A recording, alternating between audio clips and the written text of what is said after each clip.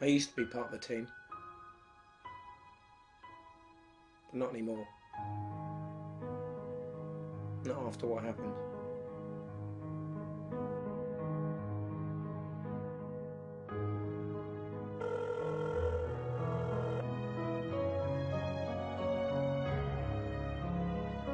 I work for myself now. Killing those who get in my way.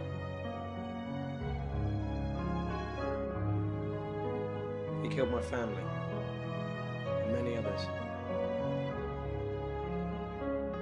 I wasn't just gonna sit there and let him walk free. I was fighting for my family.